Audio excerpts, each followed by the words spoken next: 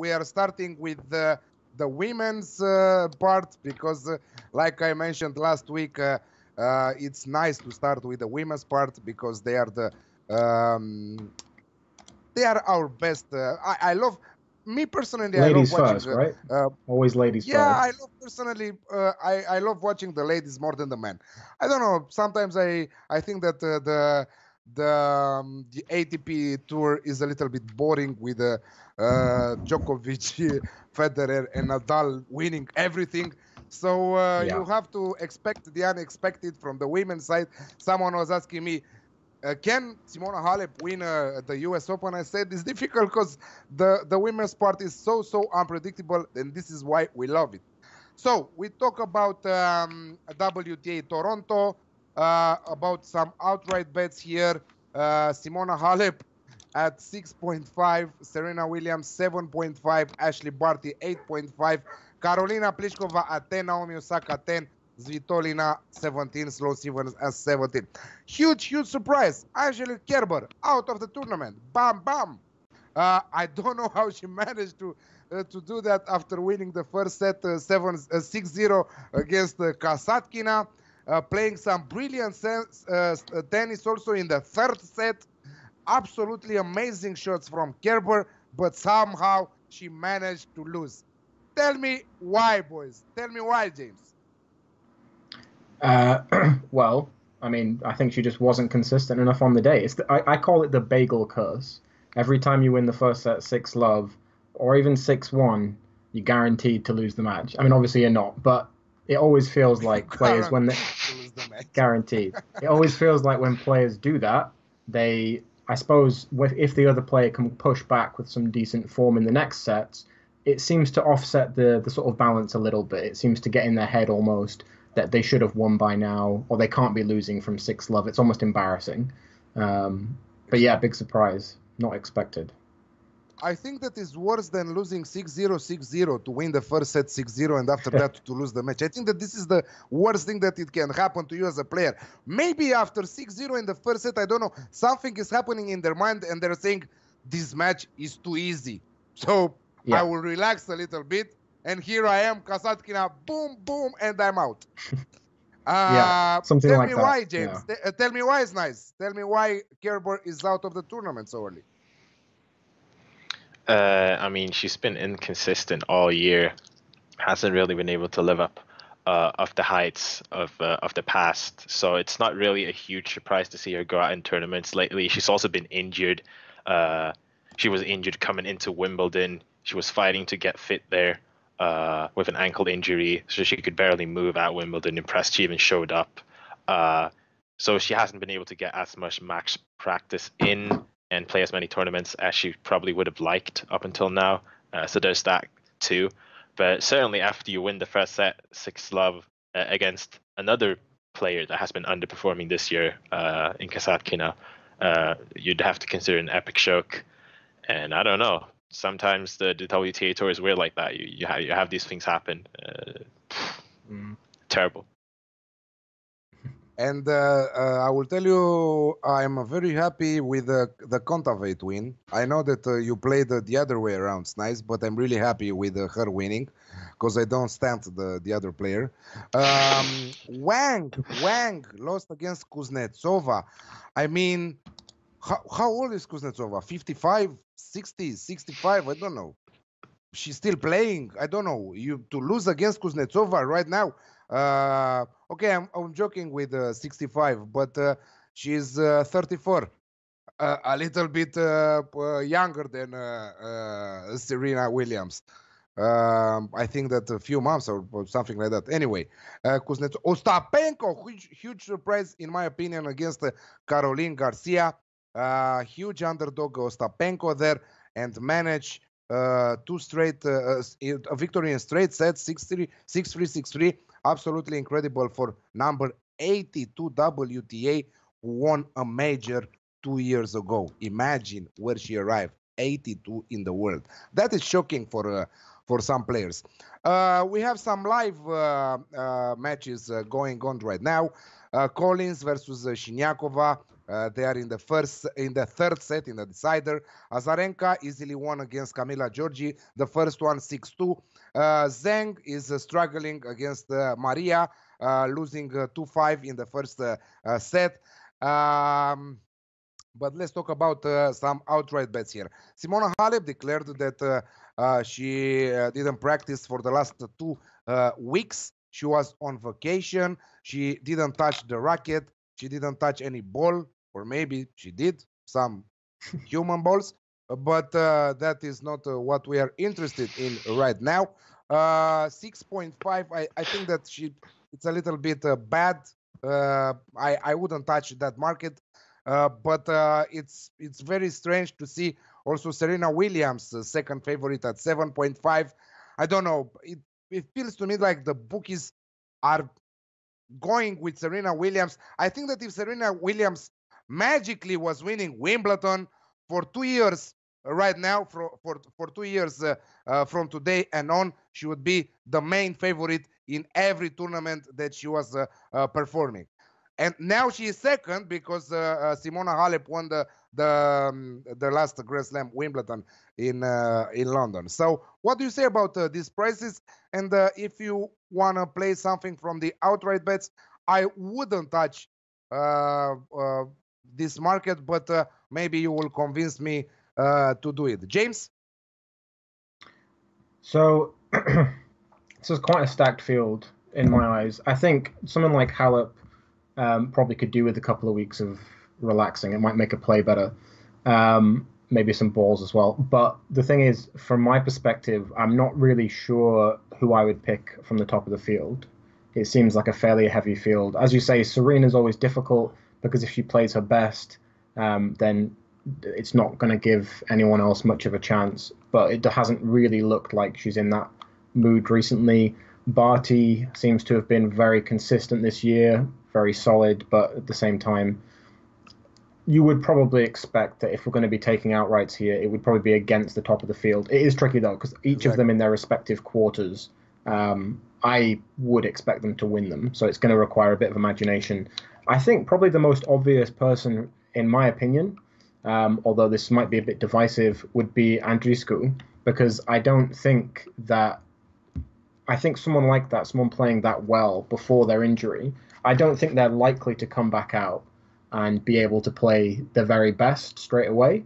But I don't think it's impossible. And I think if she starts playing well at the beginning of the week, which I would expect, then you're very likely to have got a nice price at the start of the week. She's been on uh, camera talking about how good she feels now, being back, how she's ready to play. Of course, that's for camera, but maybe it means something. Um, if she does play near to her best, I think she has every chance of going deep, of pushing the top players, as she has already. Um, so that would be a chance. She's 40 to 1 currently with Betfred. Again, of course, the problem with doing these outright previews um, when it's in play is that we don't have live prices, so we can't tell you what price that'll be when it comes back um, when it comes back live. Um, but I would guess that she's going to go well this week if she's fit, which I would guess she is from what I've seen. Uh, yeah, absolutely interesting with uh, Andreescu there. I was reading um, a declaration from her pre-tournament uh, she was uh, very thrilled to come back on tour and uh, play at the competitive level after uh, the injury. And now, obviously, she will play a fellow um, uh, Canadian there with the the social media girl there um, coming in action. I think that she will pass. she will pass her, but after that, I think that she will struggle. If you ask me, that's a good price, but on that price you have also Sakkari at uh, 40 to 1 at 40.0. You have also Aryna Sabalenka at the same price. So uh, Donna Vekic at uh, 51. So many, many uh, great, great numbers on uh, other players that are in shape, that are performing week in and week out, and have it on their blood right now. Andreescu, I'm, sure, They're I'm sure a lot more a... exposed. That would be my big problem with that. All of the players you mentioned there, I wouldn't have said that they were playing well enough recently to be winning this event. Of course, they might play well, and this is always you trade off information for, I suppose, variance. So with Andreescu, I don't think that she's likely to do that, but in the sense that I think most of the time she just won't be in enough match fitness. Um, but all the players you mentioned, I think they're quite exposed this year. They've kind of shown the level they're playing at, and it would surprise me if they managed to play well enough. I mean, of course, they could win. It, you know, this is a numbers game, but it would surprise me if they played well enough to make that seem good value for me. Um, but yeah, I take your point. It's very hard uh, because we're kind of guessing about how fit she's going to be. Exactly. We don't know how fit Halep will be after two weeks and a half of a break after Wimbledon. You know, we don't know how fit she will be. Of course, I will be very yeah. happy if she will uh, retain her title here at the Rogers Cup. But uh, I will also be happy if Andreescu will win because she's also Romanian with Romanian blood. She was born and raised in Romania from Romanian parents, and after that she moved uh, moved to Canada, and now she's playing for Canada. Uh, it was a discussion in the past, uh, in the in this year, if uh, she will make it uh, or or she will accept if the Romanian Federation will uh, try to uh, call her for the Fed Cup, you know. But I don't think that will happen. Anyway, the Fed Cup will not be what it originally was. Uh, also, Simona Halep said that uh, she will uh, not play on the Fed Cup anymore because the format changed and she doesn't like the format. So that's a problem for many, many players, like the Davis Cup change on the on the men's tour. So I don't like that either. But the discussion is here, uh, if it's good to take such a number 41 40 to 1 or to go with the um, with the favorites here Halep 6.5, Williams 7.5, Ashleigh Barty uh, 8.5. I don't know, Ashleigh Barty, maybe a take here.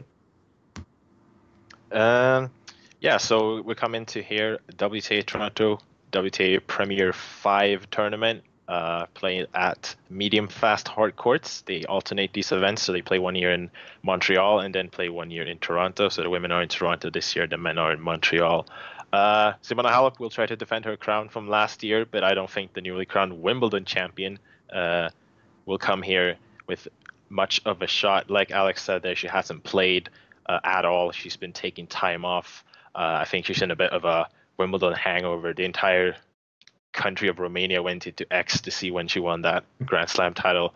Uh, so yeah, I think she's definitely worth opposing here. I would not lay uh, back that price. Serena Williams, the problem I have with her is that obviously she still does have the level to be every single WTA player on tour. That's how talented she is still. Uh, but she's only played six non-slam matches for the entire year. Uh, so when you want to back Serena Williams in any tournament, you'll have to keep that in mind. So with that little of you know matches outside of slams. I don't really want to back, back on her to go deep, especially not with her home slam of US Open coming up pretty soon. Uh, so that price seems a little bit low to me. Uh, Ashleigh Barty looked a bit vulnerable and also had some injury issues at Wimbledon uh, when she lost to Alison Riske, surprisingly, there with uh, shoulder arm injury, I think it was. Mm. So definitely looks a bit vulnerable too. So don't like any of the the big favorites. What I did go ahead and do is uh, on Sunday. Obviously, I don't know what the live press is right now, uh, but I bet Belinda Bencic. I bet on her to win quarter one at 12, and I bet on her to win outright at 34. Uh, so this is the 2015 champion. She returns to Toronto, and she's had great memories from here. As an 18-year-old, she shocked the world. She reeled off six there goes six straight victories against very very established names. She beat uh, Eugenie Bouchard at the time where she was actually you know focusing on tennis. Uh, Caroline Wozniacki, Sabine Lisicki, Ana Ivanovic, Serena Williams, and then Simona Halep to take the title.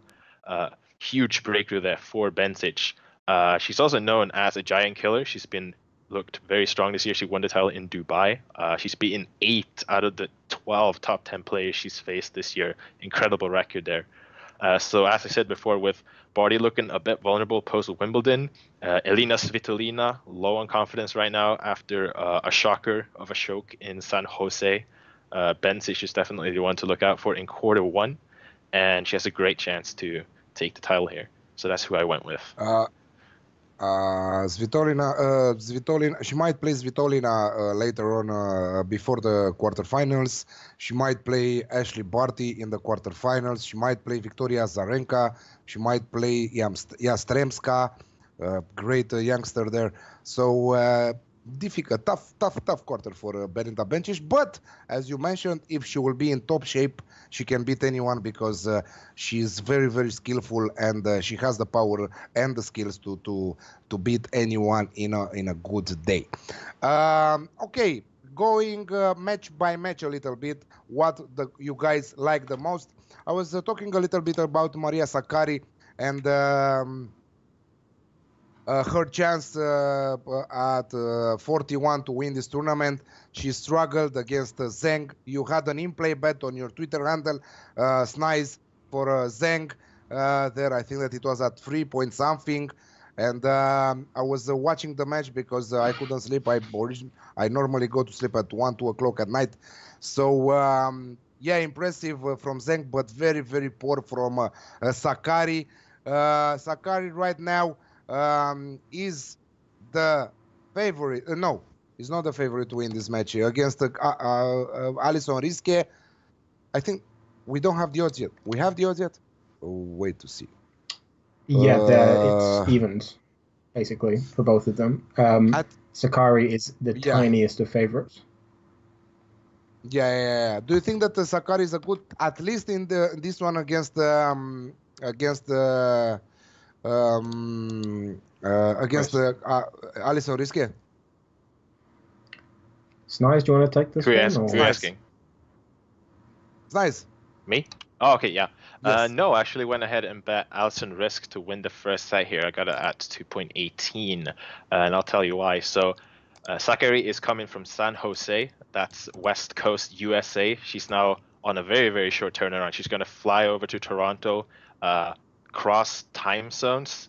Uh, that's a three-hour time difference there, and the body clock becomes a bit messed up there, as probably those who follow uh, the NFL could testify to. Uh, it's very difficult uh, when your body's used to, you know, to training and playing and eating at a certain time schedule, and then only uh, one or two days later going out to compete uh, in another time zone. So I think she'll struggle a bit with that. but also, Alison Riske has played three games here already, and she's looked very good. Uh, she obviously went very deep at Wimbledon. Uh, grass is her best surface, but she's also great on hard courts. Uh, so it's a very, very tricky matchup there for Sabalenka. Sorry, Sakkari. Uh, so I do think she'll come out a bit sluggish here. Uh, I like Riske's game, and, and, I think she can punish uh, Sakkari if she doesn't start off great. so I want her to win the first set. Um, Sakkari does have the skill to turn that match around, uh, but she could very well go in the first round. So I would stay off uh, outrights for Sakkari in this tournament. Another match uh, starting uh, in uh, about uh, 40 minutes or so. Ashleigh Barty versus Sofia Kenin. the trend on Twitter and many many tipsters and um, people I know are betting Ashleigh Barty 2-0 straight victory at 1.7 right now. Uh, James, do you think that uh, that is a great set of odds? So, as I said before, I think Barty to me has been very consistent. Uh, as Nice pointed out, there's been some potential issues with injury uh, from Wimbledon. It's difficult to judge. I mean, she's had, you know, over a month now, just under a month um, to to recover. So she's probably fine. I'm not sure if she'd be risking um, too much if she's not fine. So you can always go ahead and back something like Two Love in the hopes that if she is going to retire, it will be early on. I don't think I'd back the win at that kind of price. Um, again, also something like a games handicap is always good if you think there's a slight risk of injury because that will be void if the match is not completed. I would certainly expect if she's fit for her to win that quite comfortably. I would expect that to be quite a dominant performance. Okay, let's talk about uh, some matches uh, for uh, from tomorrow. Um, uh, Bencic, uh, Snize's favorite, uh, is playing with uh, Julia Görges, and she's huge, huge favorite at 1.36. Simona Halep is playing with Brady, who pulled off an upset, uh, in my opinion, beating Kiki Mladenovic uh, in the first round. Uh, Suarez Navarro against uh, Kontaveit. Suarez Navarro with a beautiful win against Venus Williams in the first round. And also uh, Serena Williams against uh, Elise Mertens. Elise Mertens at 3.0 right now, the best odds on no 3.5 with Bet365, the best odds on the market. Uh, do you guys have anything for uh, these uh, four or five matches? Also, we have Alexandrova versus uh, Zhang. Uh, if you like something, please uh, share with us. it's nice. yeah, so I had a look at these matches. not really that much that I liked. Like I said earlier, not really sure about Serena Williams in non-slam tournaments kind of a, a tricky proposition. They're trying to predict uh, who's going to show up, if she's going to be, you know, fully fit and feeling it. Uh, but one match I do like is uh, Belinda Bencic again. Uh, she played incredibly well in her first round here. She dominated Anastasia Potapova 6-2, 6-1. Uh, finished that in just over an hour. She won over 70% of both her first and her second serve points. Uh, created 10 break points, taking five of them. Uh, and I think she faced Sierra herself. Uh, so a very, very, very dominant performance there, and a testament to good form uh, starting off her comeback here in Toronto. Uh, Görges, uh, she's only gone 18-14 this year, uh, which is in stark contrast to her 45-23 record last year. So she struggled a bit here, uh, had a bit of a disappointing season. the German also withdrew from Lausanne a few weeks ago with a forearm injury, and she was made to work very hard to overcome clay quarter uh, Polona Hercog in the first round here, so she did manage to play, uh, but she had to fight really hard to win. Uh, Görges has a very powerful game, uh, but Bencic is a master at redirecting pace and usually thrives against these power players because she can she can absorb and redirect the ball uh, in the other corner and move them around the court and make them uh, get flustered and lose their game. So it's a good matchup for Bencic. Uh, she showed extremely good form in round one. Uh, the line is only minus three and a half, uh, so I went ahead and bet that for at 1.72. Yeah, you always prefer uh, not to bet the straight sets and uh, bet the Asian handicap because, uh, as you said, uh, even if she's losing one set, she might cover the um, the Asian handicap on in terms of games there. very good take also there. Um, what do you think uh, about uh, Elise Mertens, uh, uh, uh James? Uh, you had her, you played against her in San Jose. You played against Chris, you played with Kristie Ahn at 4.6, and it was a winning bet. Your first bet on the women's side there, and you went bet. against uh, Snize and you won that. so, what do you think? Because Snize is saying that it's very hard to uh, to bet Serena Williams at this price and on a non non Grand Slam tournament. So can Elise Merton cover the plus 4.5 Asian handicap at 1.83? Uh, she can. She she uh, is she able to cope with uh, Serena's uh, uh, powerful uh, service and and that's about it because she's not moving anyway too much. Uh, so only the powerful service. She has to be a great, uh, um, like uh, like Simona. She has every player who wants to beat Serena Williams right now should should see that Wimbledon final. I think that they can learn a lot from that. Do you think that four yeah. plus 4.5 at 1.83 it's a good bet? It's a value bet? Yeah, it's funny because the, the, final, of course, um, I think Halep talked about how she she tried to just be in the moment, not think too much about it, and have a specific strategy she was going to use. Um, and of course, if more players did that against the top guys, I think we'd have a lot more upsets. Um, and I think in general, they don't. They get stuck in their own head. They kind of forget that you don't have to play a certain way. Um, but yeah, so I think the difficulty here is that someone like Serena Williams is, I mean, as Snize was saying, it's difficult to say how she's going to perform away from the slams. Um, if she plays her best, of course, or even if she plays close to that, I doubt Mertens will have too much of a chance. From what I saw in San Jose, um, she didn't really look prepped for that match at all, um, which was obviously kind of what I was hoping. Um, in the in the simple sense that she just didn't look comfortable on court really. Um, Ahn did a very good job of spreading the court, pushing her wide, giving her a lot of um, a lot of things to think about in general. Um, but to be honest, she kind of um, it was a bit of a she certainly lost the match as much as Ahn won it. In that she did, I can't remember the the actual amount of double faults, but she did a lot of double faults. She was looking very lackluster. I remember the coach being quite unhappy with her uh, when he was when he was talking to her. So mm. I this is not really the kind of matchup I'd be getting involved in. Both of them fairly unpredictable coming into this. Um, I think if if we have everything go the right way, in that if Serena doesn't play that well and Mertens decides to play very well, then yeah, for sure she could cover that handicap. But obviously, it's really difficult to predict whether or not that's going to happen. And given that handicaps tend to be lower variance options, they tend to be for situations where I think I've got quite a strong read on the match. I would probably be avoiding that, and I just I wouldn't be wanting to get involved with this this kind of matchup. Um, the one that I did have an interest in in this in the women's um, was again Andreescu, and I think it's kind of a, a, little bit of a gamble on fitness as we talked about. Um, but I think I mean I talked to Snize about this as well that if she plays even remotely close to her sort of standard form, that I don't think Bouchard, who again as Snize mentioned hasn't really been that focused on the tennis, or it doesn't look like she has. I don't think that she'll have many answers so there's two things that I thought were interesting in that matchup. Uh, the first thing is either something like the handicap or just the straight win. If you wanted to put it into an accumulator, of course, that was part of my treble from today, um, which uh, is Andreescu the, the win. But you could also just take on the handicap. Um, I think that's perfectly reasonable.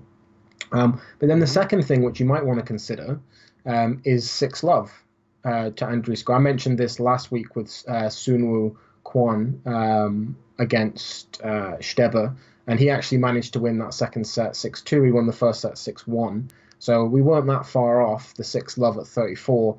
And again, here, when they last met, these two, um, it was 6 love, I think, in the second set to Andreescu.